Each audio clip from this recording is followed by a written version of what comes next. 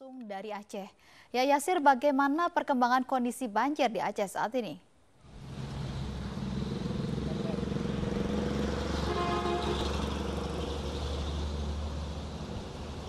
Iya, Prita, banjir yang melanda Aceh sendiri terjadi di tiga kabupaten, yaitu Kabupaten Abdia, Kabupaten Nagon Raya, dan Kabupaten Aceh Barat tempat saya berada sekarang. Dan di Kabupaten Aceh Barat sendiri hampir 12 kecamatan yang ada di kabupaten ini dilanda banjir seperti Kecamatan Johan Pahlawan, Kecamatan Merubo serta Kecamatan Pati Krano. Ketinggian air di daerah banjir di Kabupaten Aceh Barat ini bervariasi dari 30 cm hingga 1,5 meter. Banjir ini terjadi akibat meluapnya Sungai Merubo dan Sungai Lango. Hal ini dikarenakan kurangnya daerah resapan air di sekitar sungai sehingga ketika turun hujan air pun meluap melalui sungai tersebut. Dan meskipun tidak terjadi hujan sejak kemarin dan uh, sungai pun sudah berangsur-angsur tidak meluap namun uh, hingga saat ini ketinggian air tidak berkurang atau belum surut.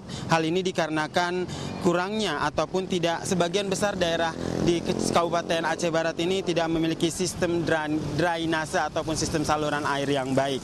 Sementara itu terkait dengan korban banjir sendiri, sebagian besar dari korban banjir yang berada di Kabupaten Aceh Barat ini memilih untuk tidak mengungsi. Hal ini dikarenakan mereka mengantisipasi banjir susulan dan menjaga barang-barang mereka yang ada di rumah.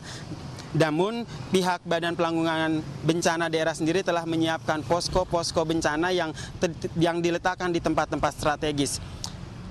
Dan menurut informasi ataupun wawancara kami dengan sebagian korban banjir, mereka pun sekarang sudah mengeluhkan bantuan dan memerlukan bantuan seperti bantuan air bersih dan bantuan makanan.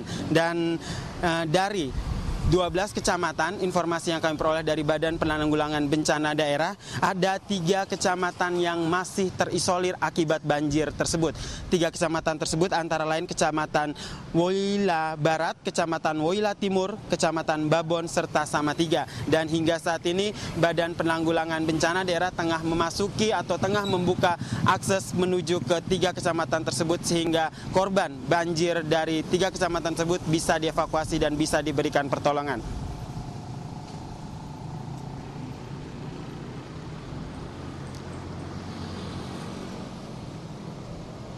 Ya demikian Prita untuk sementara kembali ke Anda. Baik, terima kasih Yasir Nenek Ama melaporkan dari Aceh.